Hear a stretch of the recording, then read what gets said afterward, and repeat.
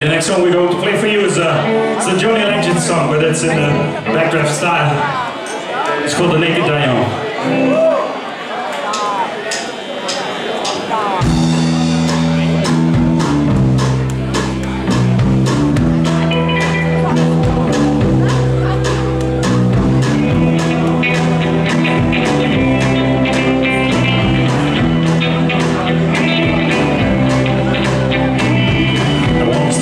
Save.